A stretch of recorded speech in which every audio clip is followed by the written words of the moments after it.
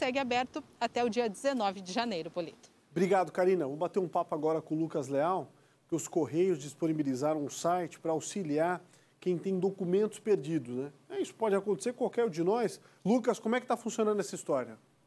Com qualquer um de nós e principalmente nessa época, Polito, onde a gente vê muita gente viajando, muita gente saindo, se movimentando de um local a outro, e aí acontece de perder o documento, né?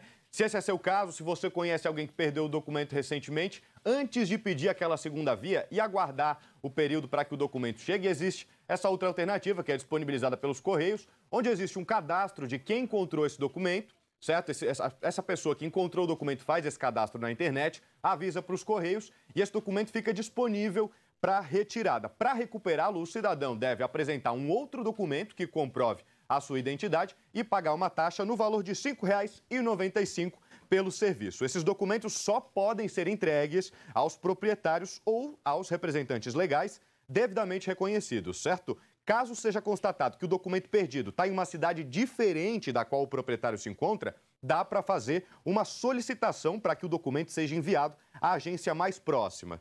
Já os documentos não procurados vão ser devolvidos aos órgãos emissores. Agora, olha que curioso, Polito. De, de todo o ano passado, né, ao longo do ano passado, quase 90 mil documentos foram entregues para esse serviço. E só 3% deles foram resgatados por parte dos proprietários e de quem detém, de fato, esse documento. Ou seja, geralmente, a maior parte das pessoas já perde e pede uma segunda via, certo? Mais importante saber que esse serviço está disponível. Você pode pedir para que ele seja entregue na sua cidade, ou então, se ele estiver na cidade onde você está, você pode retirar até mesmo nos correios. Importante para aquelas pessoas que têm a cabeça meio perdida, né, Polito? Que só não esquece a cabeça, só não perde a cabeça porque está grudada no corpo. E, principalmente agora, que o pessoal está viajando bastante, então já está ligado nessa dica importantíssima para não perder os documentos que